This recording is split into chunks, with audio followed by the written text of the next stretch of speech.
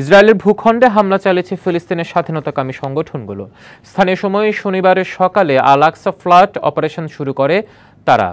মাত্র বিশ মিনিটে ইসরায়েলের অভ্যন্তরে পাঁচ হাজার রকেট ছোড়ার দাবি করেছে ফিলিস্তিনি সশস্ত্র গোষ্ঠীতে। এতে একশো জন ইসরায়েলি নিহত হয়, আহত হয় আরও সাতশো জন।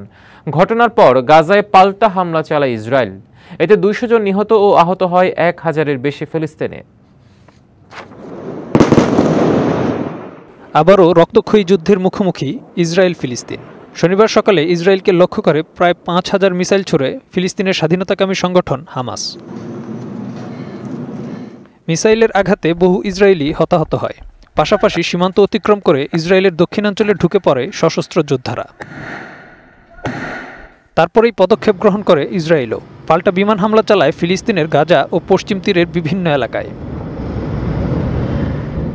হামলাকারীদের সন্ত্রাসী বলছে ইসরায়েল। আর জয়ী না হওয়া পর্যন্ত এ যুদ্ধ চালিয়ে যাওয়ার ঘোষণা দিয়েছেন ইসরায়েলের প্রধানমন্ত্রী। ইসরায়েল যুদ্ধের মুখে পতিত। আমাদের লক্ষ্য আক্রান্ত এলাকা থেকে শত্রুদের বিতাড়িত করে নিরাপত্তা পুনরুদ্ধার করা। আমি ইসরায়েলের প্রতিটি নাগরিককে ঐক্যবদ্ধ হওয়ার আহ্বান জানাচ্ছি যেন আমরা যুদ্ধে জয়ী হতে পারি। partiye gönül veren herkesin তবে দুই পক্ষকে সংযত আচরণ করার আহ্বান জানিয়েছেন তুরস্কের president Recep Tayyip Erdogan. İsrail'de meydana gelen hadiseler ışığında দুই পক্ষকে সংযত থাকার আহ্বান জানাচ্ছি। আবেগে এমন কোনো পদক্ষেপ গ্রহণ করবেন না যা সংঘাতকে আরও বেশি উস্কে দেয়। এদিকে নতুন করে প্রাণঘাতী সংঘর্ষের ঘটনায় উদ্বেগ জানিয়েছে বিশ্বনেতারা সামাজিক যোগাযোগ মাধ্যমে দেয়া পোস্টে হামলার সাথে জড়িত গোষ্ঠীকে সন্ত্রাসী আখ্যা দিয়েছে যুক্তরাজ্য ফ্রান্স স্পেন জার্মানি সহ বিভিন্ন দেশ।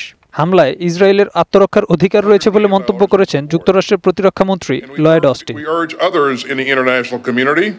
ফিলিস্তিনের স্বাধীনতাকামী সংগঠনগুলোর এই হামলার পেছনে ইরানের মদত রয়েছে বলে দাবি ইসরায়েলের। পাশাপাশি ফিলিস্তিনের সমর্থনে বিক্ষোভ হয়েছে জর্ডানে। Zahid Mridha DVC news desk.